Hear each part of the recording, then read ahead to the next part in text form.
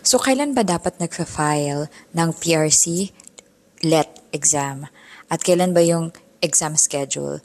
So, bali, ang, dahil ang pinaghahandaan ko is yung 2025 rounds of licensure examination, ang available pa lang sa website is yung nakaraang cycle.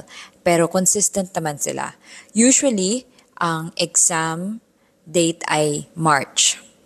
Bale, ang mangyayari is magfa-file, mag-start ng file ng application during November hanggang January.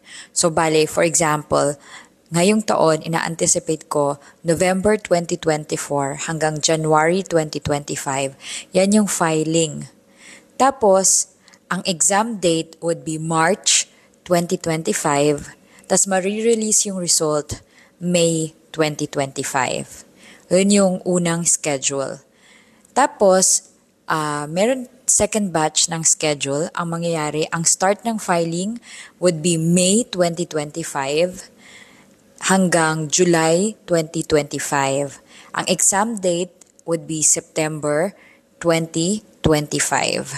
So, merong usually dalawang cycle para sa application at para sa exam, para sa let.